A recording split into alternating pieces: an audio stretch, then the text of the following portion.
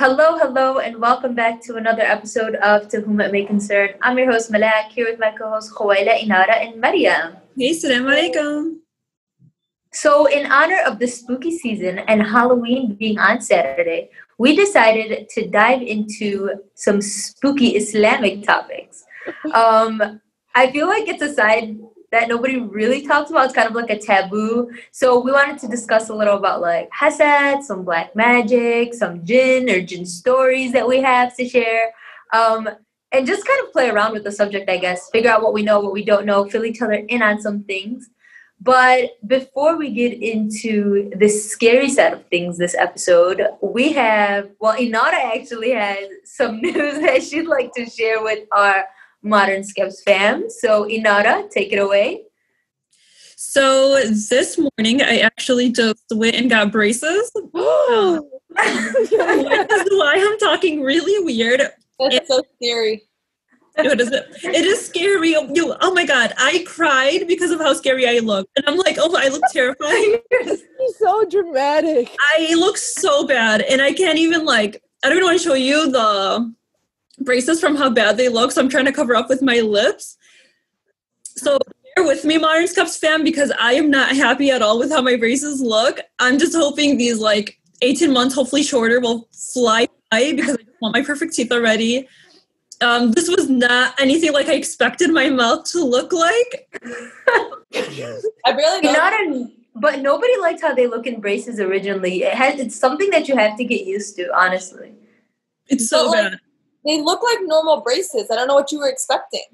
No, mine don't look like normal braces. The thing is, I thought I was gonna get a bracket on each tooth. I don't have a bracket on each tooth, so it looks a little weird. and then I have like the self ligating, I believe they're called braces. So like I don't have the bands around my mouth. Um, even though these are supposed to be better. The bands are ugly. I feel like that's the ones that I'm like, they just having fully braces looks better than just like the kind of spaced out and not like out there. I don't know how to explain it. It's just not what I expected braces to look like because everybody gets the traditional braces, and mine are not really the traditional braces. Um, and so it's not what I expected. I am having a hard time. Today was a little stressful and like overwhelming for me because I look a lot different than what I'm used to. It's okay, Inara. You've never been one to follow the masses, so you're just Yeah. you're a trendsetter in every sense. Oh yeah, Embrace, embrace the brace face. yeah. It's like next, bra- next month I see all of y'all with like braces.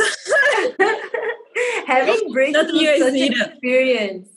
So, although the talk of braces is uh, very scary, um, we're just gonna go ahead and dive into today's topic.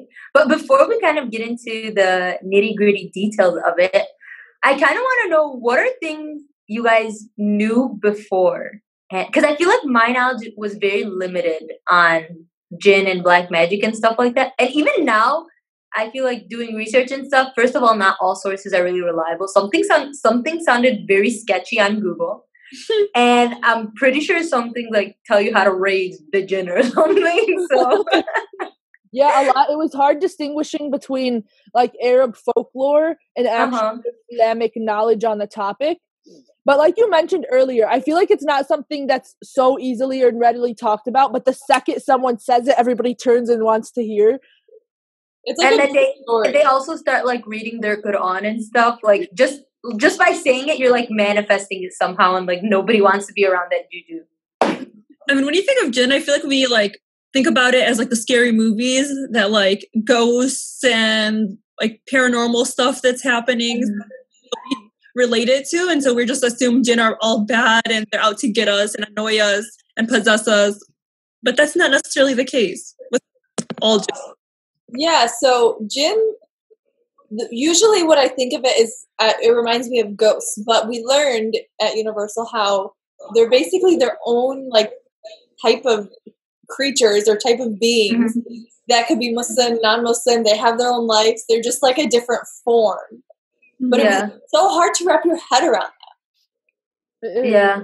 I think the scariest thing is that you can't see them, but they can see you. That's so creepy. There could be a Jinn right behind you. Well, isn't every person born with a jinn? Like we got one. I thought it was a shaitan.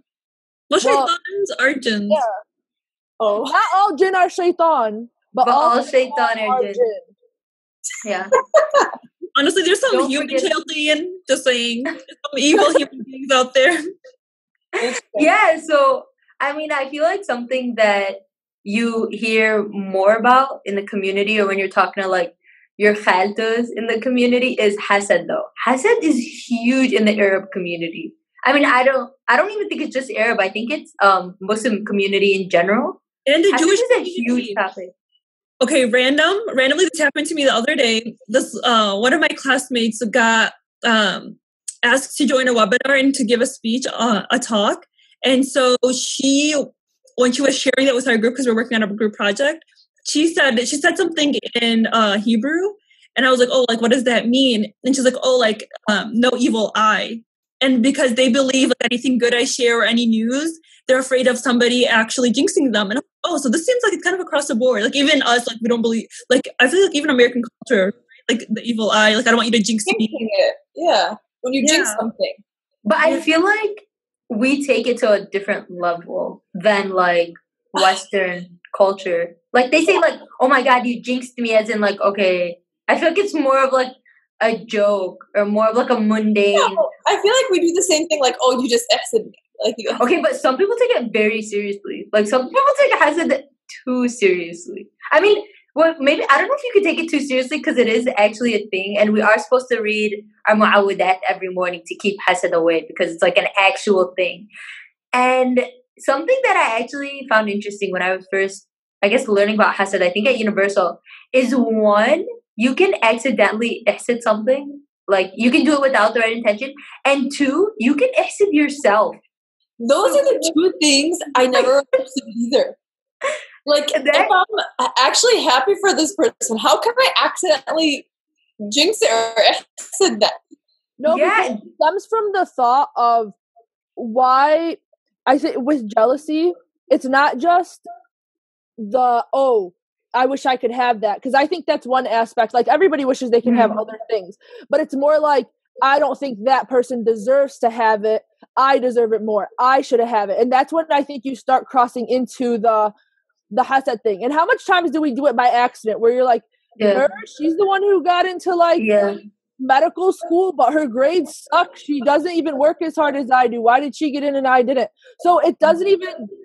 It's not something you actively have to try and do. You could just do it by accident, just because it's human nature. Which is why we have to fight Mhm. against those types of thoughts. Yeah.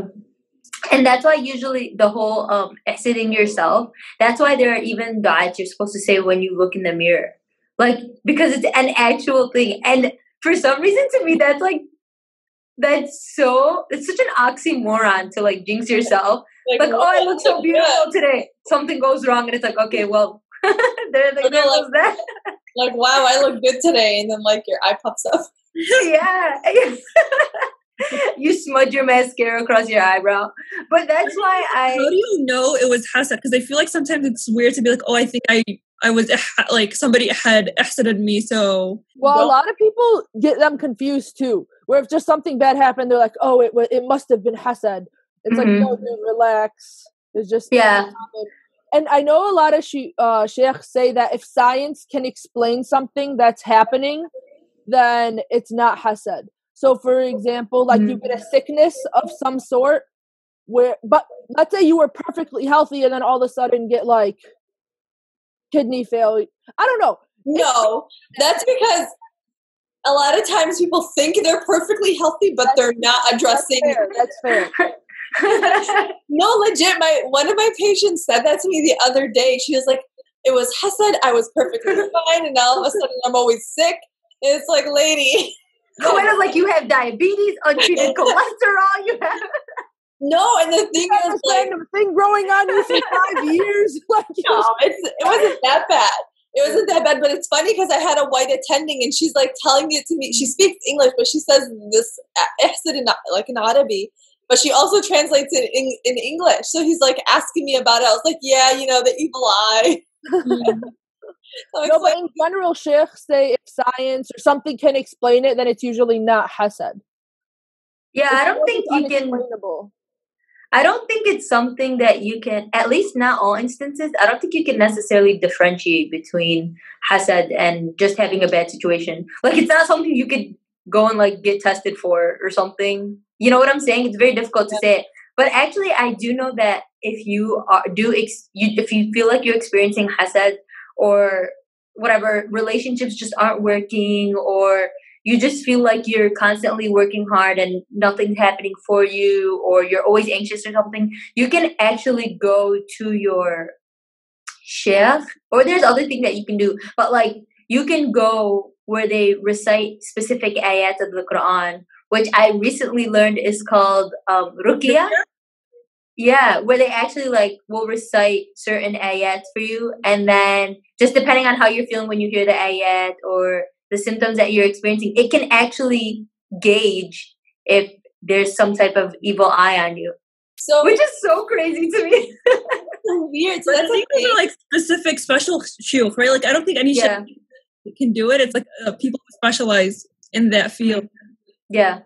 So hold on. Do you go to them at the masjid, or do they come to your house and try to sense if there's any hasad in the household? Yeah.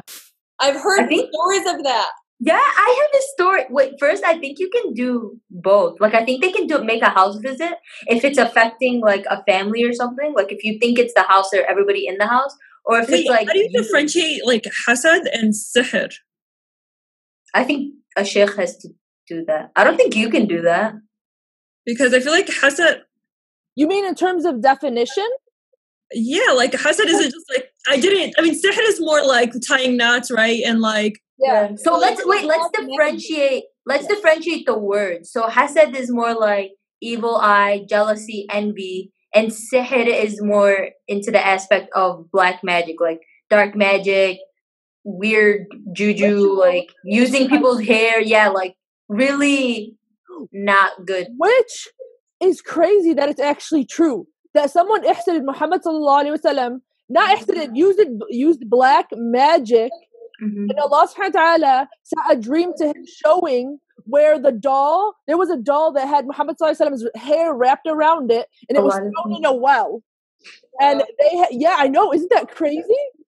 And he, Muhammad Sallallahu set some Sahaba to go get it from this well and they had to undo the knots. And while they did it, they had to read Surah Al-Falaq and Surah Al-Nas. Yeah, that are supposed to protect you from the evil eye and from hasad in general. Yeah. Okay, this whole ruqya thing reminds me of those like movies. What is it like? The Exorcism. We're like, like the thing is though, it can like people, individuals that do take part in sihr and like strong hasad and stuff. Like it's really creepy stuff. Like it is literally an exorcism because they're literally communicating with the jinn, with shaitan. Like they're trying to possess things. Like they're willing to give up parts of their soul. Like it's a really creepy thing where you probably need an exorcism to come back from something like that. And this, I've heard some crazy stories. Like it's not. People are weird. They're so weird. I don't know. What's but, scary is it's the human that chooses to do the black magic. That's the mm-hmm. scary part. Like we always want to blame the jinn and like the jinn is the scary person, but no, in reality, like the human is the scary person they're the ones that are asking the jinn to do this stuff for them. Mm-hmm. And the jinn's the one in control of the human because he's making them do like dumb as heck things. like go and do pilgrimage around like the graveyard or like go find a rat tail and a potion of whatever. And the human honestly has no control over a jinn. If you think about it, like how are you going to control a jinn? They're stronger, they're faster, they're unseen by us if they choose to be. So in reality, it's because the jinn wants to, because it's easy for them to do it. Also, another thing that um, I had recently learned was that Surat Al Baqarah is also used to ward off hasad. So people, before you go to sleep, just play Surah Al Baqarah in your house. I mean, even if there's no hasad, obviously there's nothing bad that can come out of just playing the Quran at night or just having it going. But I didn't know that Surah Al Baqarah was used for hasad. I thought it typically it was just our muawadat and then the ruqya for when they're kind of trying to test if you if you have any evil eye on you.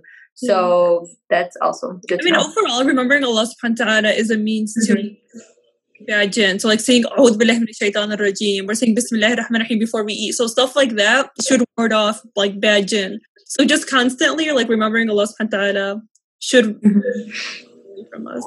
I think two of the most surprising facts I've learned was one, jinns have their own religions. Like jinns can be atheists, jinn can be Muslim, jinns can be Christians, jinns can be Hindus, like jinns can be any type of religion. But And I they think follow our religion. They don't have their own religion, which is interesting. They follow human. No, a share, yeah, human types of religion. Yeah.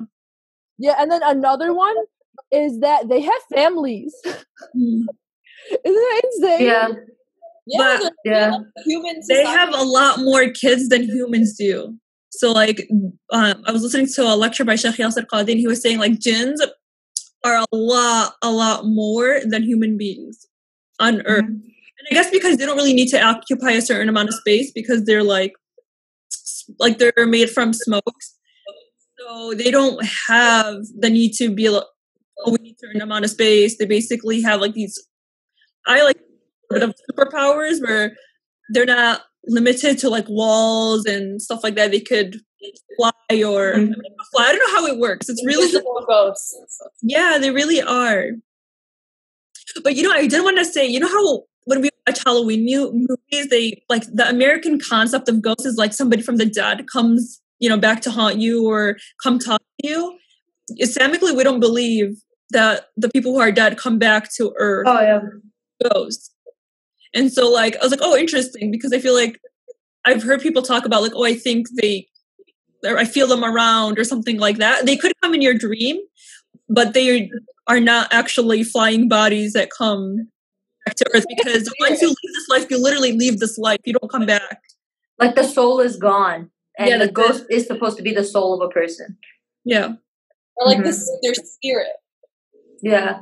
In general, like I think tawakkaling ala Allah subhanahu wa ta'ala and like believing Allah subhanahu wa ta'ala has control over everything at the end of the day should strengthen our faith and our iman and we shouldn't be too concerned and worried about like din or like hasad and all the black magic because at the end of the day it's in Allah subhanahu wa ta'ala's hands and I feel like as long as we have like firm faith and we make dua and do our you know we recite our Quran and we ask Allah subhanahu for protection we should be fine so like don't get too involved with it mm-hmm. or like mm-hmm. too well let me do more research and it, it it's too yeah just stay away.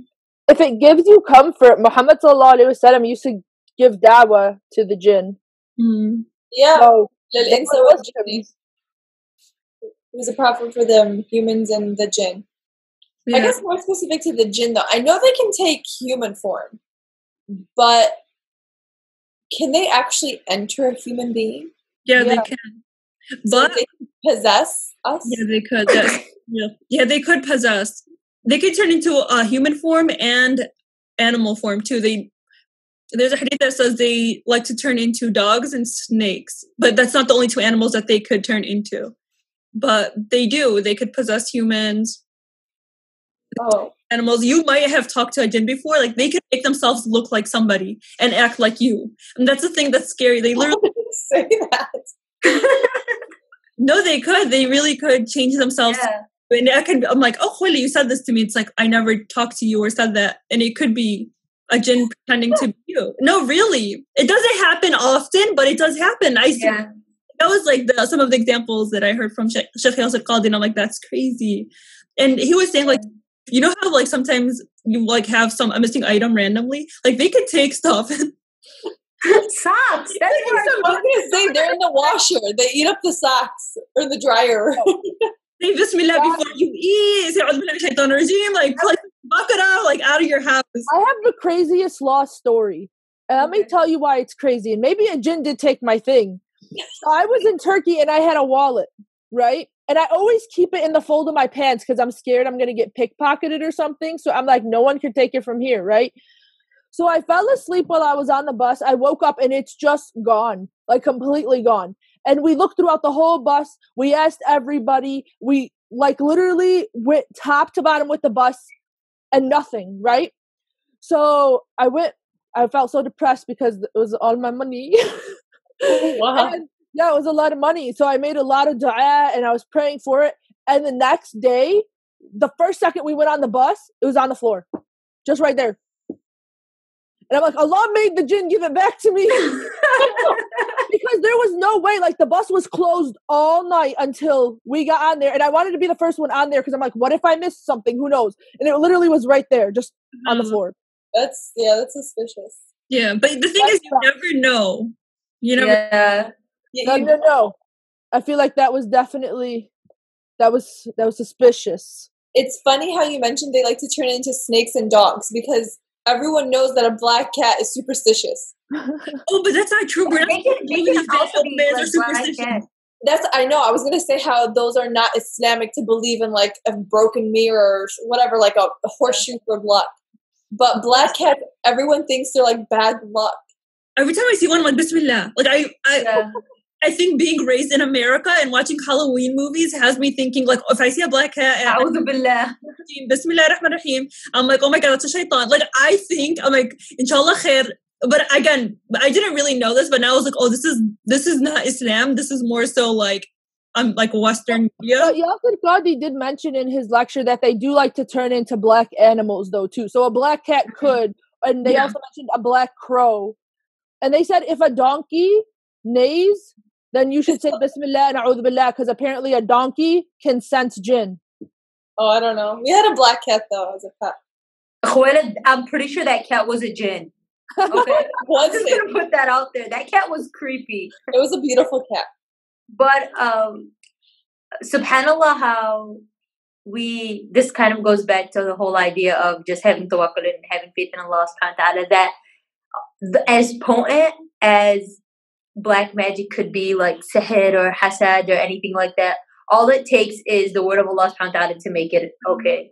Like subhanAllah how people like do potions and they do all this crazy stuff. They sell parts of their soul to the jinn to have like this power and all it takes is like for your sheikh to come and read ayat from the Quran and it's like imagine okay. the amount of hate and like evilness I'm human yeah. have. Like I just don't get it because I would never ever like want to deal with that stuff. I would never want to wish. I don't care what you did to me. Like I just can't understand or wrap my head around somebody that has the courage, not even courage. Like how evil can you possibly be to wish harm on somebody? Like I'm so. That's not even evil. That's like cynicism. Like that's cynical. Like you're not. It's not anger. That's like that's something different. That's completely. So is it constricted to hurting other people? They can also use that magic to benefit themselves. Like for like power, money. Yeah, because uh jinn live a lot longer than us, so they live like thousands of years. So they know where hidden treasure is and stuff. So if you ask and you communicate with them, they'll tell you. So it's not necessarily only to harm other people, but also to benefit like yourself. So if you look at it from that angle, I could see why a lot more people would do it. Mm-hmm. I think I would never do it, but I can see why. Like I can understand you. I guess along the same lines, though, Jinn have a li- limitation to they can tell the present and the past, but they're not able to tell the future. Yeah. So that's why a lot of these fortune tellers, like we think, like oh, they can tell the future, they know me so well. If they do communicate with the Jinn, they can know you because of what the Jinn is able to gather from you present and in the past. But mm-hmm. anything that's said about the future or you will do this or you will have this is not true. Yeah. It's it's crazy. I heard I mean you always hear crazy stories, but I heard from this that one sheikh. So there was just this newly married couple. Okay, first of all, as creepy as jinn stories are, I feel like hearing these experiences is interesting. Like I like hearing the stories because it just blows my mind how these things happen and how all it takes again is just for the word of Allah subhanahu wa ta'ala and then like things go back to normal, which is super crazy. But there was one story that I heard in particular where it was first this couple, I guess, they were newly married, they were so in love, like you know, everything was working out for them. Um, they moved into a home together, like they were growing their family. And then suddenly they were just always so upset. Like they just couldn't agree on anything. They just nothing made sense. Um, they were always fighting, always arguing. They were never happy. They didn't know what the problem was. So they had called the sheikh to like, you know, come to their house because they're like, how did we completely 180? Now we can't stand each other. We still love each other. Like, what's the problem? So they had come into the sheikh had, like asked the sheikh to come to their home, and he had come to their home, and it's crazy that immediately as soon as he entered the home, he knew something was off. Like they can feel that type of like dark magic and that dark energy, and he knew that something was off. And I don't know the exact details of how the shuyukh find out like what's going on or how they communicate or how they realize what's going on. But he literally walked to their backyard and like lifted one of the stones. I guess they had like a garden. And he lifted one of their stones and there was like a baggie in there with like a doll or whatever type of magic that had the black magic. And as soon as he got rid of it, like the sheikh had to like recite Quran and whatever, and he wouldn't. He even the sheikh even knew who had placed it there, No. but he wouldn't tell the couple because it would ruin relationships. I guess it was like family, but like whatever. That's like Well, I sus- think that that's so sus. already ruined. like, But he didn't. He wouldn't say the relative, and he got rid of it. And obviously, it took a little time to get back to where they were, but it literally like complete 180 with the type of energy that was in the home. My thing is though, this stuff is not like I don't know. I haven't looked at it. I don't know how readily available this information is, but I feel like this stuff is passed down from person to person. So Yeah. like, And how also do you can find it online on YouTube, like this stuff. really? Like yeah, Yeah. the whole, there's a religion that um, believes in like voodoo and black magic. I for, it starts with a W. I forgot what it was called. Wiccans? Whole religion based off of black magic that still exists till today. No, I know, but this family was Muslim. Oh yeah, how But- they had but- get But Huwaida, you can if you look for this stuff, you can find it. Like I'm sure there are plenty of people in the community that we live in that we're not aware of that takes part in these acts. Like it's not something that's like unheard of or it's been wiped off the earth. Like it's very prevalent today. So I'm sure if you ask around, ask the right people. have Uh, you have you all experienced any like jinny stories type of stuff? Like where you hear noise in the middle of the night, you thought you heard stuff, your lights are twitching. So here, here's my thing. I'm always in denial. Like something can like be picked up and lift, like dropped, and I'm like, oh, that was nothing. Gravity. uh, Not to that extent, obviously, but like, Yeah. there's always. I mean, I don't know. I feel like your mind can play tricks on you, especially if you're Yeah. home alone, or if it's like raining and dark or something along those lines.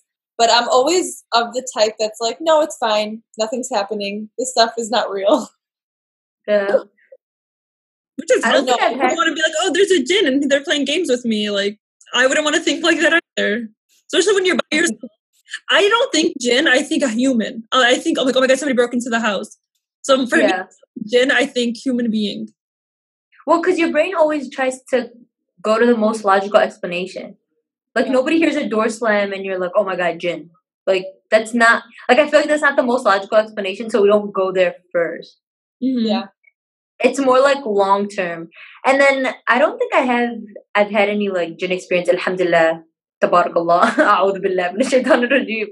But I'm definitely like I definitely believe in the whole hasad stuff, and because I do believe that hasad could be so strong, I make a conscious like I make conscious decisions that anytime I compliment something, anytime I see something, I make myself say mashallah alhamdulillah. Like I consciously try to make my train myself where when I do say it, I follow it up with mashallah or alhamdulillah. So that I can like I'm not responsible for anyone's hasad and I keep myself well protected, like both ends. Yeah, I think with all these experiences, well, at least from the story you told me, Malak, is like you really truly never know who's out there that can try and harm you. So keep your business to yourself. Like you, mm-hmm. not everybody needs to know every success or every triumph or every relationship or how your relation's going. Just keep it to yourself. The less people know, the better for you. But it's It's also hard. like It's hard for people who think well of others. I feel like people who naturally like, I feel like people who naturally think positively of other people, like they themselves are good people, have a hard time understanding others that might do harm or have evil intentions.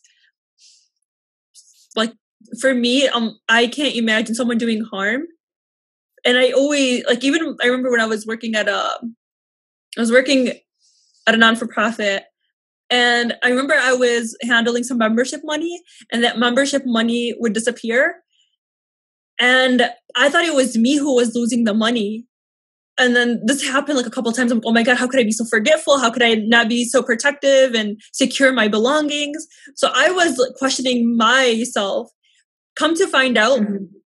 By the way, I was like crying. This was not an easy situation that happened to me because I was like, this is an amana that I'm taking care of, and it um this money has been gone. Um, supervisors have been being so nice, but I was like, why? I'm like, I'm like, I don't know if I'm the one who lost it, or maybe it's me. Like, I'll pay you for it, whatever the case may be. But not until a year later, where somebody had um this happened to me again, but this time it wasn't the membership money. And I tried to get the membership money. I'm like, please don't let me handle it. Clearly, I'm like irresponsible and not taking care of this well. Come to find out, somebody like, a year later went and like went through my wallet, found my wallet on the floor. And so we looked through to see like what happened. Because I was like, my wallet was in my backpack and we had gone to Salah. Like, what what happened in between that? Um that was like very weird. I'm like, okay, I, I wasn't near my backpack, so like how is my wallet out um outside of my bag? And we looked at the um, cameras and we found a young girl, like 12 years old, going through my stuff and taking my cash from my wallet. A year later, of like feeling this guilty where this person was exposed. But I always blamed myself. I didn't think somebody was taking from me. I'm like, no way will a little girl take from me. Like, no, I'm being irresponsible. Like, I'm hiding my stuff. I'm putting it away. You know, I'm doing my measures. I'm like, how does they even know I have money? Anyways, so come to find out it was actually someone else. But in my head, I was like, no way. And I thought it was me. I was just being irresponsible and whatnot. But alhamdulillah, at the end of the day, Allah subhanahu wa But I ta'ala. think it's kind of naive to not think that people would have evil intentions. Really? Just Like, in general. No, when you put your stuff on social media, though, it's not like it's only like a couple of people. It's literally going out to the masses, and you don't know who could see it. And Mm-hmm. honestly, you don't know what position other people are in their life, what bad of a place that they could be, that they're actively hating the position that you're in. You don't know, like, what if, alhamdulillah, you're so happy in your marriage and you keep posting like these photos that show how happy your life is, and you have a woman who, like, is desperate to get married, is in her 40s, has never had children, and like, you don't know what resentment, whether she wants to or not, and she's gonna exit you. So it's just like, sometimes just be private, know that like just keep your good stuff to yourself and don't like overshare even though we love to do that because that's the society we're in yeah. That's to say Yeah. that little girl is evil. I know she's a little girl still trying to learn and things like that, but yeah. that's true. It's true what you're saying. It was just like not thinking somebody that young Yeah. in the community would do that. And that was me. I was like, that was the last thing on my mind that somebody had take like it was a girl. For me, I would I blamed myself for it. I didn't think somebody was ta- going into my bag and taking it. I thought I was just losing it myself and I was just being forgetful. But for me, it's like even little kids can have bad tendencies.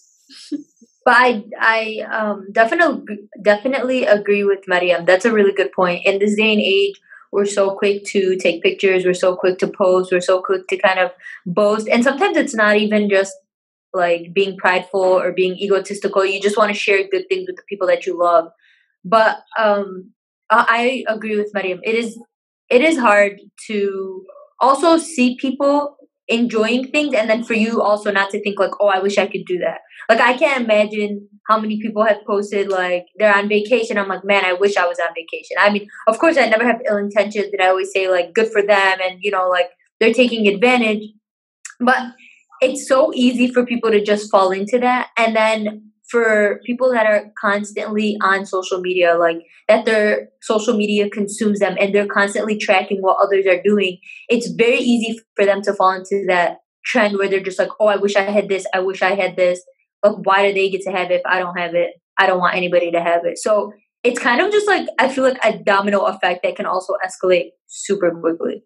Honestly it's human nature. Like human nature has jealousy like engraved in it and that's why we're told to fight against these thoughts. Like sometimes i'll have a thought and i'll be like what the hell? Like my cats don't fight with each other. I'm like why did you think that? I don't think that. Why did you think that? Like what the heck? Bismillah. Like it's probably the shaitan like you're always having these internal struggles and is there a good angle or bad angle yeah but in general, like it's human nature. So to think that we're so far separated from those types of thoughts isn't like the case. Okay, but like I also think that sometimes people overdo it. So, like, Yeah. for example, so like someone's like mentioning like, "Oh, I got engaged," or the this good thing, but like they don't say anything, or you find out another way, and you're like, "Wow, th- I thought I was close to this person, but they're not telling me this." It's like, "Oh, they think I'm gonna exit." You know what I mean? It can also go around that way. Yeah. It's it's not to say though that you shouldn't share good things. Like you should share good things in your life because God knows we all go through enough bad that when Share you do good, you want to celebrate. You, Malak, you share with Yeah. people close to you and mean well for you, like a small group of people. I remember I was listening to this guy um, who actually specializes in uh, black magic and jinn. Like that's his like focus area in Islam. And he said he's like I don't share any. I guess he deals with a lot of hasad and black magic, and he much that he's like I don't share any good news or publicly announce anything. And he's like I don't post my kids. Like he's very specific, and he said he's like share with very little people. Like sometimes he even limits it with what he shares to his mom. Like it was so specific. I was like, whoa. Wow. You know what I mean? A That's too much. It's too much, but I'm like, if this is your field and you're constantly seeing black magic, like you're being called and you're just hearing a bunch of people's stories, like that's your Mhm. field. You can see how you could be overprotective. That's just being biased. Yeah. Yeah, because he has knowledge on the topic. I mean, if we were more aware of, I mean, with my limited knowledge, I'm telling you that I started making sure that I always say, mashallah, alhamdulillah, you know, like, and my knowledge is so limited. So imagine where that's constantly what you're studying. I would be freaked out too. I would take extra, extra precaution. But like he's not telling things to his mom. Let's say Yeah, I mo- mean, only looking at the bad relationships between a mom and their kid versus all the other good relationships between moms and kids. I mean, he's he's not that he does it. It's very specific, and he won't always share everything. Like it, he's very particular as to what he shares, the good news he shares, because of what he sees. I And mean, it kind of, it also kind of makes you wonder though, how important is what you're sharing? Like, if you're not constantly sharing things that are good, like, not everything good that even happens to you needs to necessarily be shared. Like, you can have some things that are just between yourself or you and your spouse or you and your siblings. Like, there, not everybody has to hear about all the good things going on. Like, yeah, like you're engaged. Yeah, that's nice. Like, that can be a community thing because the community will see you out with your spouse, whatever, something like that. But like if you got your own a job promotion or something like that, I don't know. There's just some things that I feel like today we over exaggerate everything. Like not even everything's an accomplishment, and not everything needs to be celebrated. So it's all you know what I'm saying. Like it's also if he feels like there's actually only the really important things that he shares maybe we just make the really unimportant things seem like a bigger deal than they are. That promotion is important. Yeah. Okay, I mean, I was just that was an example, not a good one, but like you know, you got the gist of what I was Yeah, saying. I don't know. I just feel like you need to find the balance between like sharing and with the good people around you. Because yeah, there's a lot of instances where I hear like, "Oh, she's I'm I don't want anyone to ask me, so I'm not going to say anything." Yeah, It's no. like, it's- that mentality is also weird. for me, it wouldn't be that I don't want people to jinx me. For me, it'd be like I'm still unsure about this relationship. Like for me to publicly announce it, Yeah, like not until I feel secure in my relationship will I announce it. But other than that, I feel like it's still, especially the way we do things. I still don't know him. We're still getting to know each other, so I wouldn't want to really publicize it until I feel. Not of giving people an excuse. no, I think in general, circling back, that learning about the jinn and all the stuff that we don't know was very humbling. Yeah. Mm. Wait, do you guys have any jinn stories? So as I said before, I don't have any jinn stories, but my mom does. this is one that she's always told us growing up. Should I turn off the light? Hear it. Come on, we want to hear. Hold on, I should Oh, can we put flashlights on? But like, oh, spooky, scary time. I feel like I want to put like sort of Oh my God, Abuela! Inara is so scared. One, I'm invested. Me too. once upon a time. This was years ago when my mom first got married um, to my dad. Obviously, they had were driving back late from her family's house back to their apartment, and they were driving past a cemetery. Dun dun dun. My light flickered. Just saying. the jinns are listening. I'm like honestly scared. I'm checking behind me. I hate jinn stories. Okay, please go. No, so they saw like an old lady, I guess she and she was like covered up, so she looked like she was in hijab, all black. black hijab, black abaya, everything. And she was just walking down, like along the side of the cemetery. So they slowed down the car, and my mom's yelling at her, like, Khalti, Khalti, Khalina Waslik. You know, like, oh like, God. "Khalti, come on, we'll drop you off. She wasn't listening. They kept going. She went, and then she kept, like, they just kept asking and being persistent. She said, she didn't say anything. She just kept walking. So then they drove off a little, and then they felt bad. They're like, you know, let's go again. So my dad, Your parents are like too invested at this point. seriously, Maybe that's why she didn't talk to them. Seriously. Harassment. harassment? No, they're trying to be nice. So my dad circles back around. My mom gets out of the car. She's chasing her. She's like, Khalti, Khalti. She puts her hand out to touch her shoulder. And then she gets like these bad vibes. And she's just like, right before she touched her, she put her hand back. She turned back to the car and told my dad, let's just go. Let me say Thunder Team. Bismillah. Honestly, I will believe that story because I know your mom, and she would not like talk about this stuff, or she's not the type to get creeped out like easily or believe in jinn. Okay. Um so that's creepy. Yeah, it's like true story. And that's why I was Black asking if- cemetery. Like your mom and dad are pretty like. I like. know. And it's the middle of the night. She's wearing all black, like and they, and they were they were chasing her. They didn't ask once. She didn't a she got out of the car to tap on her. Like what? No, thankfully she didn't touch her. But that's why I was asking before if jinn can like possess humans because I feel like if she came into contact, it would have just like went inside her. That's so scary. Yeah, That's so scary. they're good. She's just telling the story 25 years later. I feel like I would cry for a long time. Yeah. No, I mean, you move past. Yeah, I would have started you, but it is. It's definitely something that exists, and I don't. I mean, I don't think we're nearly as educated on the topic. Um, I don't know if it's necessarily knowledge that we should delve into. Like I don't know if it's something that we have to know about, but you should just take your basic precautions. Like we said, the mu'awadats, playing Surat al-Baqarah, like having um dhikr on your tongue at all times, learning dua, learning new Not du'ats and du'ats to that a you do. cemetery or past it in like the middle of the night. don't pick up people in the middle of the night. Like that's just something you don't do. Hasad or not, din or not, you just don't do And um, that. she's like, "Oh, the Hajj, come here." The silence, honestly, is the worst part because even if you don't want someone next to you, like, why you why are you completely silent? Like, that's creepy. My thing is that, like the speed change. The the ladies try to run or anything like that, or No, she was just walking. She was just doing her like thing. nothing changed. Yeah. What boggled my mom, what boggled my mind is that your mom got out of the car. Like I get trying to be nice, and then there's just like They were extra. just just let her walk, just let her walk, Bismillah. let it go. like learning about this topic and doing the research and even even hearing the stories is so scary to me because I'm such a chicken. Like I'm the biggest chicken. I don't do horror movies. Mariam knows I don't do haunted houses. like I don't like to be scared. I don't know why people like to be scared. I don't know why they enjoy like horror movies or haunted houses. It's just You know weird. it's fake. It's funny when you know it's fake. I don't believe anything's fake. You always hear about those stories.